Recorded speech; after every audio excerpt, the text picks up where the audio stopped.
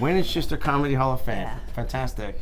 So The Roman sketch I remember when I was a kid was fantastic on on Ed Sullivan, and it was from from Canada. I'd be like, hey, Well, let's have a tremendous hand for Wayne and Shuster of Canada before they start. Yeah, they got him right in the rotunda.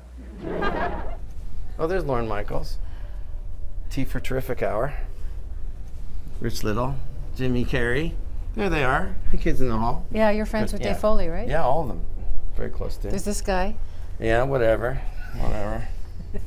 mm-hmm. Would it kill you guys to like watch this every now and then for God's sake? Jane Eastwood.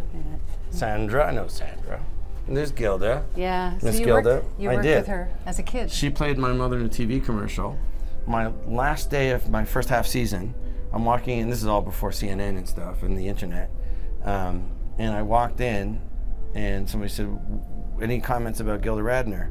I said, "Oh my God, how did you know she played my mom on a TV commercial?" I was like, "No, she died this morning," and I was heartbroken. I literally did one of these, like where the room starts to do this. But I, she was the nicest lady ever.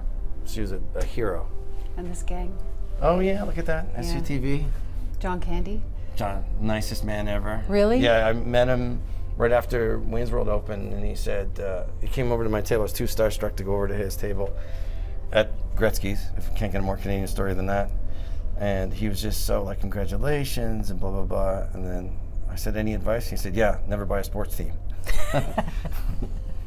Lovely, sweet dude.